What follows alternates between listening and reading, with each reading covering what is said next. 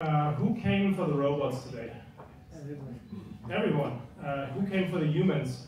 okay, uh, what's happening? At Dyna, we build general purpose robots. Uh, more specifically, we leverage uh, the existing foundation models, uh, end-to-end models, to deploy uh, production in production environments. Um, most uh, our clients are mostly in the hospitality space, uh, laundromats, hotels, uh, hospitals, uh, also in the manufacturing 3PL uh, space as well. Uh, and since we founded last year, we raised about 120, uh, 140 plus million dollars. And we're one of the frontier labs in in end-to-end robot research. Perfect. Maybe a quick intro from my side as well. So I spent a good decade in the automotive industry, uh, doing corp dev and CVC work, mainly looking at manufacturing technologies, robotics. Uh, one of the last investments we did was uh, Agility Robotics, one of the humanoid companies.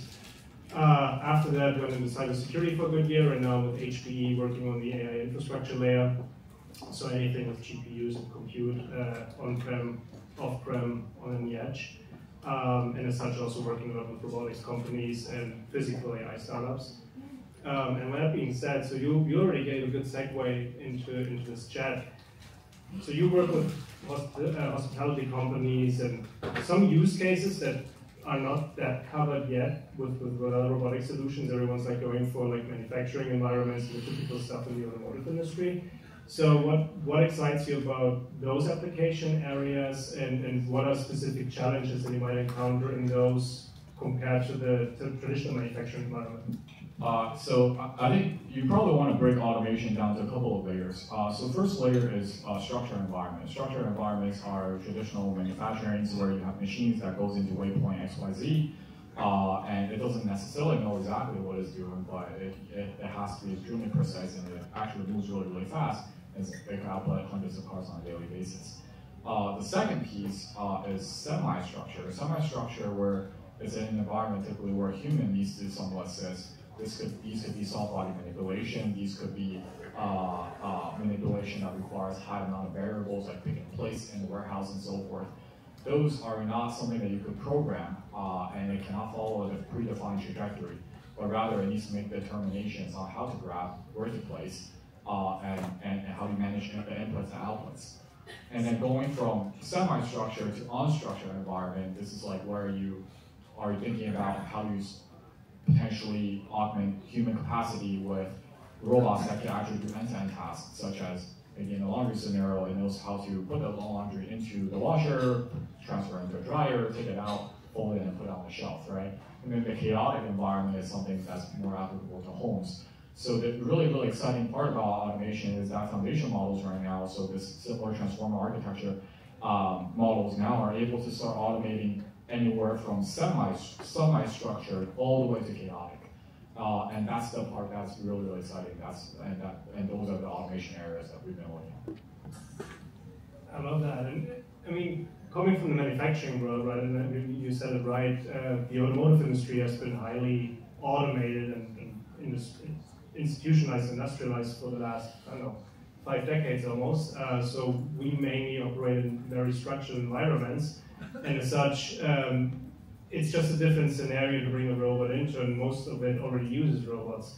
So when you come into environments that do not necessarily use robots right now, what are the biggest challenges that you, that you see in those environments, and how do you work with data, and what's more important, like data quantity, quality? Can you like share some insights on that? Well, I think one of the biggest challenges to move into an environment where it has not been automated is actually retrofitting your robots into your existing environment in a way that it matches your existing workflow. Because typically in a manufacturing environment, your workflow has already been repurposed for a particular line of work. Uh, but uh, in areas where it hasn't, been, it's matching your existing workflow. And that, this is where semi-humanoid, humanoid robots can come in because they can actually work like a human being, so they complement your existing workflows. Now, with regards to on the research side, which is like what what is missing from the research, uh, end-to-end models has a lot of great promises. You have used ChatGPT, language models, vision language models, it can do wonders. But the problem in embodied AI is that there's a general lack of data in the physical space today, right? Uh, so, and on top of the, the general lack of data, the end-to-end models does not perform at human level yet. So a lot of the research that we have been doing is how do we systematically drive up the quality of execution, the throughput of execution, the robustness of execution, such that it could minimize the amount of human interventions, and we've been actually quite successful at that. I love that. Um, double tapping on that. So when you have a structured environment, it's fairly easy to, to get training data. Well, not, not always easy, but at least you know exactly what kind of data you would need to train for high accuracy over time. Um, that is not necessarily the case if you're in a chaotic or unstructured environment. So how do you solve the data problem? Do you think like you know synthetic data might be of helpful might be of help for you? Or generally, where do you source your data and how do you embody data into your solution? Uh, so when, you, when we think about like general purpose robots or or, or developing you know language models, vision language models, you, the, the one of the most important thing you have to think about is is not just data quantity. A lot of people think about you know data scale. If I scale more data, then it's better it's not necessarily so. It's actually scaling the right quality of data. And, and that presents one of the most challenging uh, pieces for uh, robotics training today. And this is where we focus a lot of our times to really focus on augmenting data through world models, through simulations, and so forth to really match and, uh, and actually create uh, additional scenarios for out of distribution data that we need to collect. Uh, so, uh, so to your point, I think real world data, real world data is the highest quality of uh, quality of data, uh, data in pyramid. And then it really comes down to you know potentially like world models and then simulations. Simulations obviously is potentially promising in terms of creating the quantity of data, but then doesn't yield the highest quality the quality of data in that it's not there's a lot of simulation to real world environment gap right? Even in a self-driving scenario where you see that you know the car is contacting with the road, it doesn't change the road as it drives through the road. It already still creates a lot of gaps. That's why you haven't seen simulation data even working too well. I mean, it works a little bit for the self-driving environment, but even for but now for manipulation, you're actually interacting with the physical world. You're changing the state of the object as you're grabbing it, right? And and and that requires an even it presents an even more challenging environment for uh, manipulation to learn from simulation. So this is an area of active research, but in the meantime, scaling out real world data is the most tangible piece uh, uh, to solve that puzzle.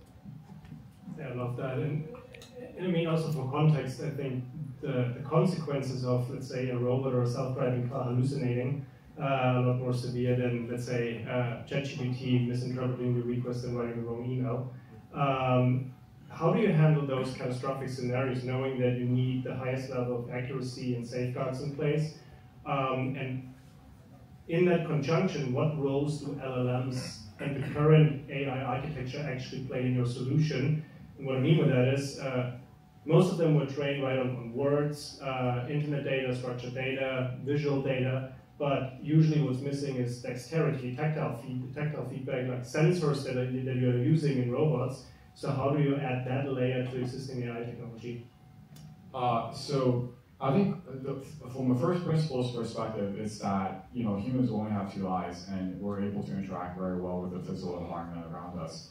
Uh, robots typically are uh, have a slightly different modality, and it's actually very difficult to say that hey, the future of humanoid is going to emulate humans exactly, right? If we actually think about the history of technology, automation, advancement, uh, you know, airplanes are supposed to emulate birds, but then airplanes look looks or does not work anything like a bird. Similar to cars are supposed to replace horses, but it doesn't look anything like that either.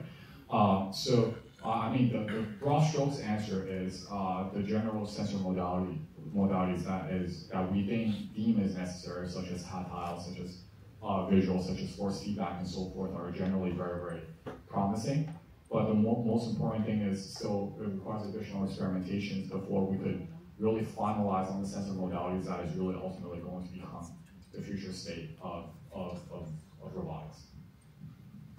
so what you're saying, if I, if I come from the automotive side, Tesla always was a big advocate of just using cameras as, as basically the ultimate layer of truth versus all the other manufacturers. And I come from Germany, so the German car manufacturers always believed in sensor redundancy, right? So they added like radar sensors, LiDAR sensors, and basically try to get the same data input through five different forms. So if one falls through, they still have another one to fall back on.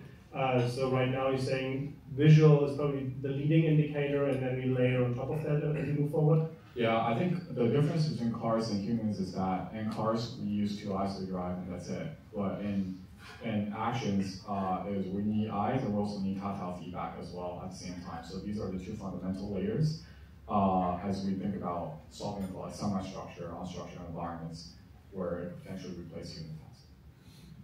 So looking at the current technology stack holistically, right? Not only the, the, the, model layer or the AI layer, what's what's the biggest roadblock right now, or what would be the biggest unlock, let's say, ChatGPT moment for robotics moving forward? Uh, I think uh, going back to this, so I think about the general purpose robots in two dimensions uh, to focus on. Uh, one dimension is uh, generalization. Generalization really uh, could break down into environment generalization, object generalization, task generalization. Uh, really uh, putting, being able to place a robot in any new environments, it can handle any new objects, and it could do any types of tasks with language command or some sort of prompt is one, one, one area of generalization we need to tackle. The second piece is performance, which is the robot needs to work at human level throughput, human level throughput, human level quality, and human level robustness. Uh, and, and, if it's missing any one of these uh, three uh, uh, traits, it's not able to deliver tangible ROIs for people in the industry as well. So in these two areas, I mean, it both presents its own challenge challenges in that from a generalization indexes, uh, we need to drastically scale up the amount of data uh, that we need. So this is through you know learning through human videos, learning through uh, imitation learning. Uh, that's one area, but in diverse amount of environments. And the second piece is how do we collect the highest quality of data such that it's able to perform at human level uh, performance, and that's going to be the second piece.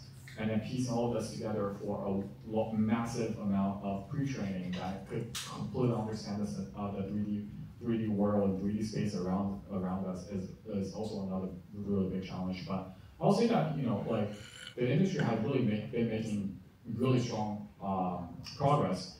I, you know, I when I decided to start this company, I, I kind of gave a conservative estimate that it will probably take us about two to three years before we ship production.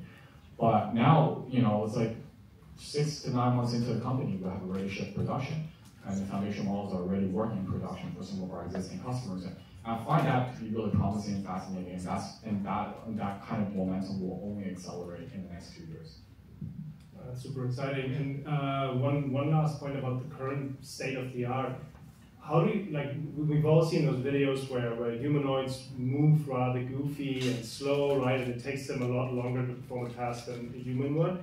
Um, what's what's the current state of the art when it comes to like inference and actually being able to process all of that on the edge and like enable reasoning and situational awareness and decisions? Uh, do you see any roadblocks for that, uh, or how do you solve it right now?